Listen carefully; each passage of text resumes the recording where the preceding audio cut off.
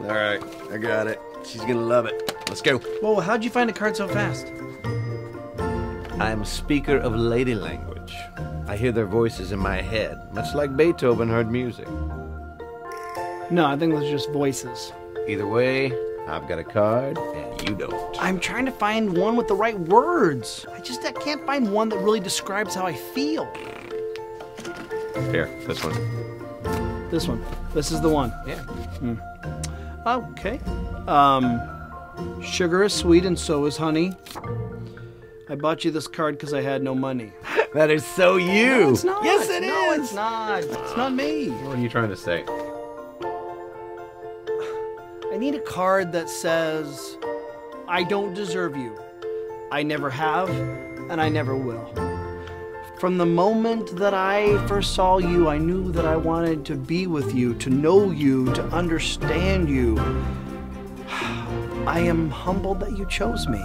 I have married out of my league, and there's not a day that goes by that I don't recognize that fact. And I've never, I've never taken our vows lightly. What do I say to the mother of my children, my best friend, my soulmate?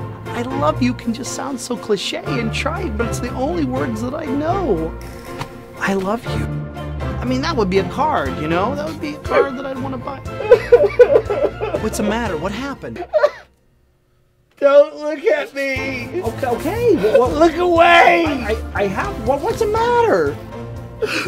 It's like I'm a swimming pool, and your words are like cannonballs landing.